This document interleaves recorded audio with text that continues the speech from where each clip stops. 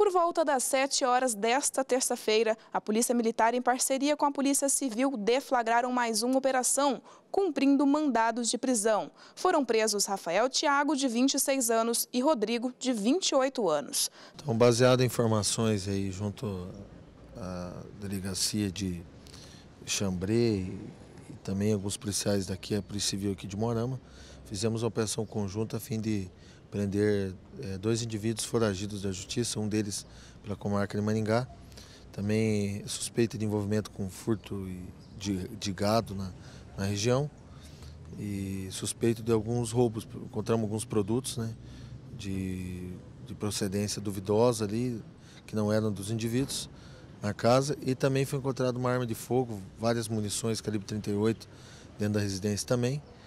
É, foi dado o cumprimento ao mandado de prisão contra eles e vai ser entregue agora na sétima STP e levado a reconhecimento também de outras vítimas.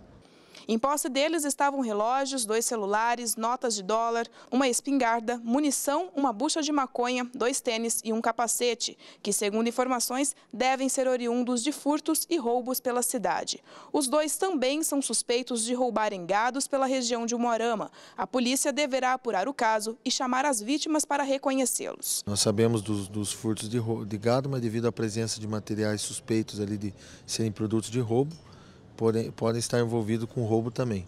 Então, vai ser entregue agora o material e vai ser levado a reconhecimento de vítimas aí de crimes anteriores.